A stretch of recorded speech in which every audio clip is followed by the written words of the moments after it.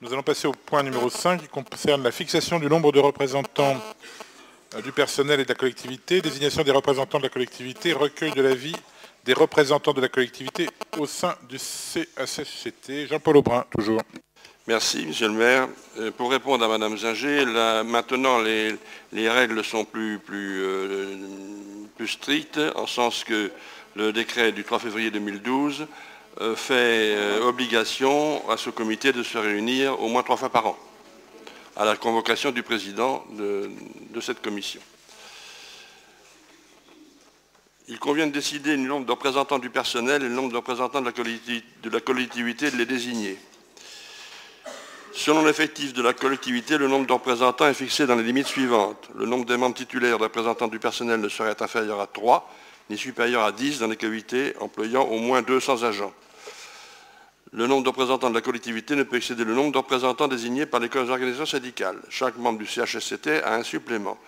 Nous avons donc euh, pensé, et je, dois vous dire que le, comité technique s'est réuni cet après-midi, et, euh, il, a émis son, accord à tout ce que je viens de vous dire et ce que je vais vous dire. C'est-à-dire que nous, avons décidé de limiter à 6 le nombre de représentants de la collectivité, et donc par voie de conséquence, à 6 le nombre de représentants des agents. Le décret du 10 juin 1985 précise en outre que l'avis du CHSCT est émis à la majorité des représentants du personnel présent ayant voix délibérative, mais il autorise une délibération au compte du conseil municipal de prévoir le recueil par le CHSCT de l'avis des représentants de la collectivité.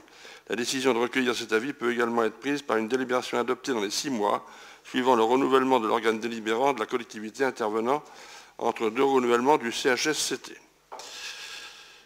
Dans, ce cas, l'avis du comité est rendu lorsqu'il été recueilli, d'une part, l'avis du collège des représentants de la collectivité et de l'établissement, et d'autre part, l'avis du collège des représentants du personnel.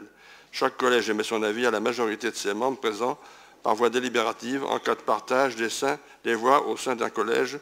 Celui-ci est réputé avoir été donné. L'avis du comité technique d'installation du 19 décembre 2014 a été sollicité sur ces questions. Il a donc donné son accord, je vous le rappelle. Nous avons donc, euh, à la proposition de Monsieur le maire, constitué les, candidats euh, pour siéger au, nom de la collectivité.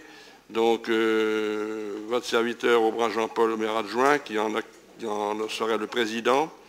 Madame Anne Bullet, avec, moi avec suppléant M. Delerin, Madame Anne Bullet avec suppléant M. Napoli, M. Bigré avec suppléant Madame Alvaro, M. Lost avec suppléant Mme Benberadi, Mme Bourdet avec suppléant M. Porcheron et Mme Gagnard avec suppléant M. Lafont. les syndicats euh, ne nous ont pas donné encore leur, leur, candidat. Ils doivent se réunir et nous faire part de leur décision au début janvier, puisqu'il y a un prochain comité technique qui se réunira au mois de janvier, à mon avis, après le 15 janvier. Je vous remercie de bien vouloir délibérer. Je vous remercie, Monsieur Aubrin. Y a-t-il des interventions ou précisions? Non. Nous passons au vote. Donc, euh, je vous remercie de noter que Madame euh, s'est brièvement absentée, qu'elle ne prend donc pas part au vote.